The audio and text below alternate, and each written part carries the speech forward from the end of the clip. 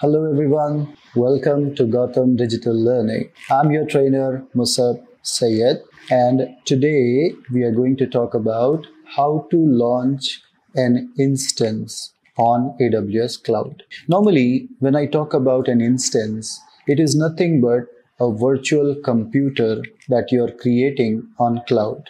Like normally you have a desktop or a laptop in that you will install operating system and you use it. The same way on cloud, we create a virtual machine in which there will be an operating system and we can use it. Instead of using our on-premise data center, it's very cheap and very economical to work with cloud and launching the instance. And as we have created a free tier account, we'll get lots of opportunity to work with free resources. So what are we waiting for? Let's go and start working and launching a Linux based instance. So first of all, you have to log in into your AWS account and choose the region in which you want to work. Like in my case, I'm using Hyderabad region.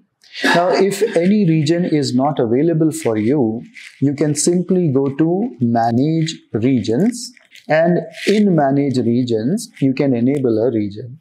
But let me tell you that whenever you enable a region, at least you have to wait for two hours so that the region is completely active. So when we go to down, here you see regions are available and it is telling whether it is disabled or it is enabled. Suppose I want an Hong Kong region. So select it, go to enable and this is going to enable the region but this region is only going to be available after a couple of hours. So if you don't find Hyderabad in your list, simply go to manage regions and enable it. Now here you see there is an option inside it called instances. See instances are actually nothing but virtual machine. As you can see, I already have some instances created for my classes, but for you, I'm going to start a fresh launching of instance. See here, we don't call it creating an instance. Here we call launching an instance. Different terminologies are there. So what are we waiting? Let's go to launch instance. Now, as soon as you say launch instance, a wizard will be available. One after the other, you have to give answers and it will create that machine for you. So I'll call, first of all, it is asking me to give some name to my instance. Let me call it my Linux machine, whatever. Now, as you know, Linux is a free operating system and it has so many flavors or versions. So if you go below, it asks you which Linux would you like to use. There is a huge list. You have Amazon Linux, you have Ubuntu Linux, Windows Linux, Red Hat, sorry, not Linux, Windows, my bad, Red Hat, SUSE, Debian, and Debian. Of course, Windows is also using the bash shell, so it can also be termed as a little bit of part of Linux. But actually, Windows is a wonderful different thing. Anyway, so which Linux you want to choose? See, AWS has its own Linux, which is exactly same like Red Hat. So I would like to work with Amazon Linux. Now make sure whenever you are working, you are observing free tier eligible. If something is not showing free tier, then billings are going to be done and we will get a huge billings for that. So if you are not interested to pay any bills, always check for free tier and go for it. So I'm going for a free Linux operating system. Then it is asking you to select instance type. Now basically instance type is nothing but how much CPU, how much RAM you want. So here also I request you to always look for free tier eligibility. If you don't go for free tier eligibility, the billings will be there. So in my case, I'm going with T3 micro. See in Hyderabad region, you get T3 micro.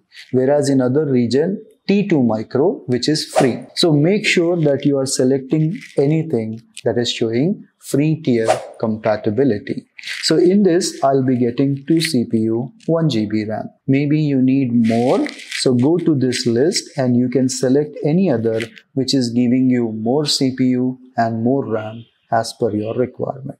I don't want it to incur any bills to me. I'll continue with the free tier. Then the next thing it is asking you to select a key pair. See guys, AWS is a very, very secure environment and it does not want your privacy to be leaked out. So what they do, they maintain something called key pairs. Like you have a lock. Now lock can open only with the key isn't it? They does not work with simple password, especially in Linux. They don't entertain you to type password. If password is leak, anybody can use and connect it.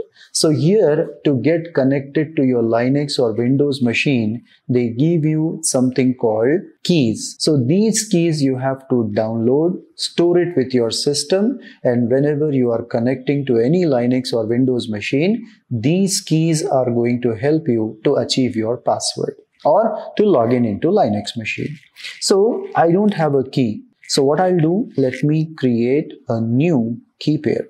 So let's click on creating a new key pair, give it some name. For example, I'm going to call it online, right? Anything you like.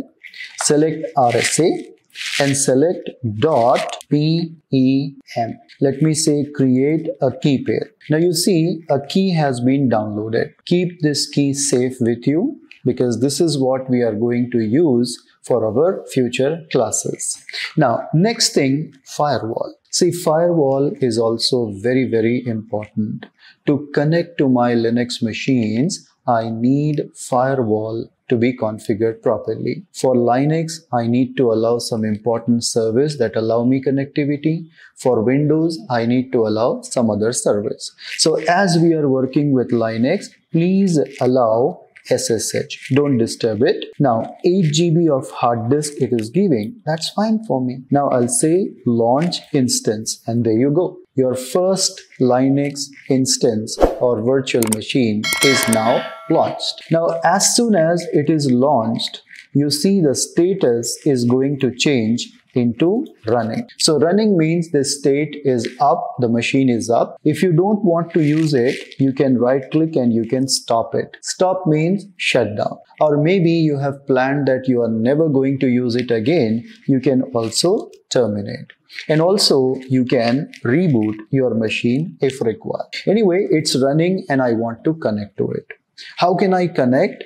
See, they provide public IP.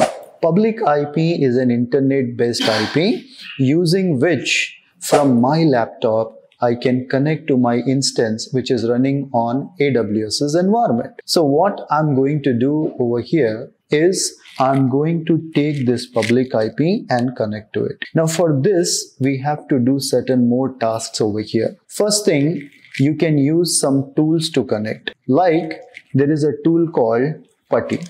So please download PuTTY software for connectivity. See, many people uses different tools to connect. I prefer going with PuTTY. It's a free software. Go to PuTTY website and download it.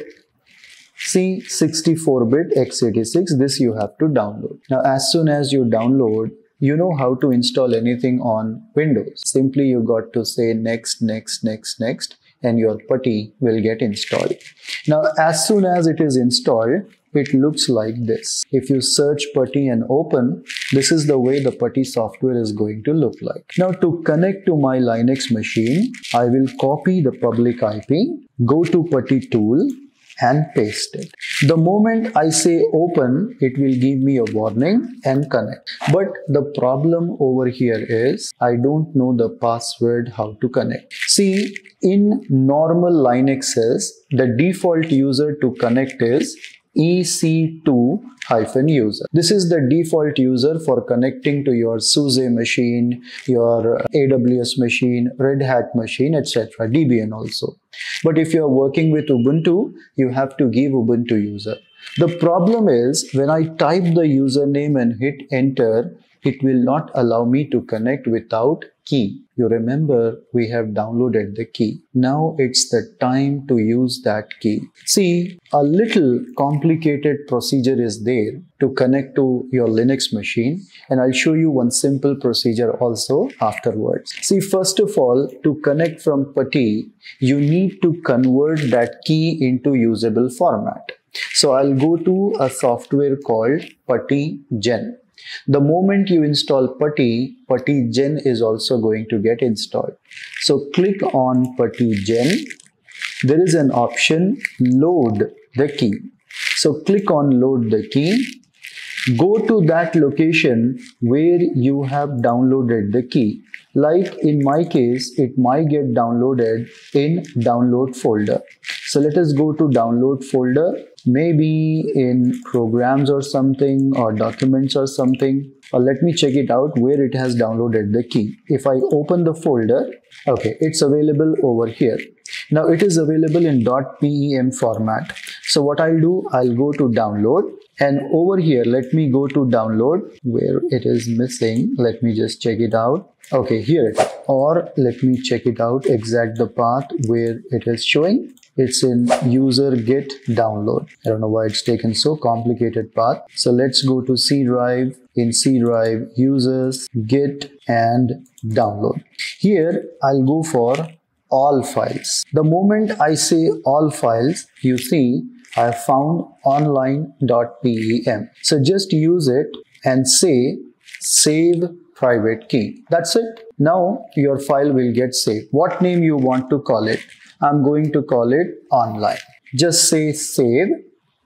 Now, if you go to download folders, as you can see, online file is available. How to use it? Go to the putty tool, put the IP address, go to SSH. In SSH, there is authentication. In authentication, there is credential. Now in credential, browse that key what you have converted. Go to downloads and here you can see online. Just use it for connectivity. See if you want, you can change the colors. You can also increase, decrease the font size. That would be very nice. So maybe I'll use the bolder fonts and 18 point something like that to use it perfectly. Now I'll say open and you see the screen is available. I'll type ec2 hyphen user and there you go. You got connected to your Linux machine. Now, if you don't like such a lengthy procedure, then there is an easy procedure also. We call EC2 connect.